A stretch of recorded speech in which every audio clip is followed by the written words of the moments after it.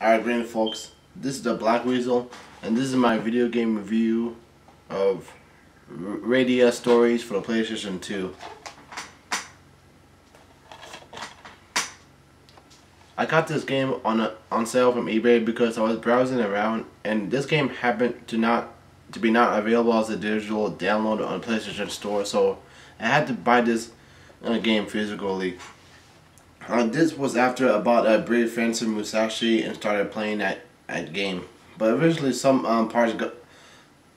But eventually I got around towards uh, buying this game as well on a spur of a moment.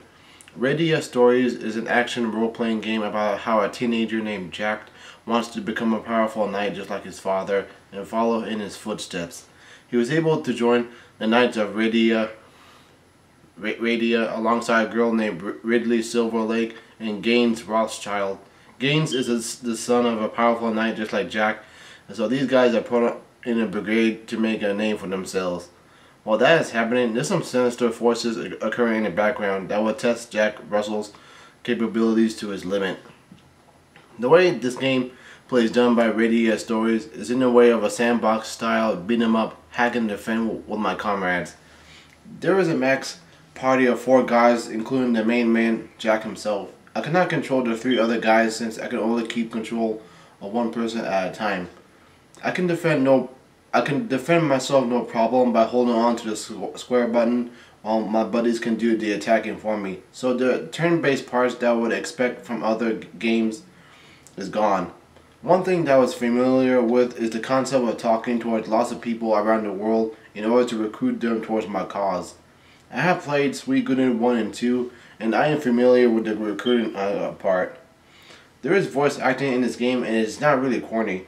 The cutscenes are longer than I would expect from a game that came out in 2005.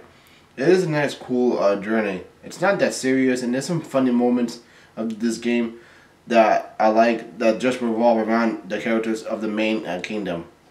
With Jack running around the kingdom and the world itself, it feels feels like it's alive with people that have different traits and personalities.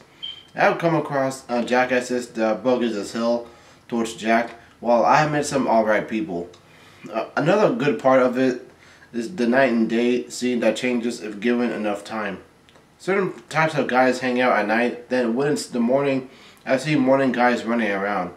I like the graphics. It's pretty good, and the fighting doesn't get boring even if uh, when I'm just surrounded by a bunch of baddies while my buddies are hanging around and fending them off.